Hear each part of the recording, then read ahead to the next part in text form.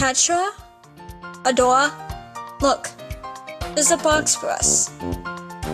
From who? Sparkles. She says, make sure to take pictures. Hmm. Hmm. Costumes? So we have to wear these and take pictures? Adora, I don't like it. Come on, Catra, stay still. I'm gonna kill that damn Sparkles. Please don't. Okay, can I scratch her at least?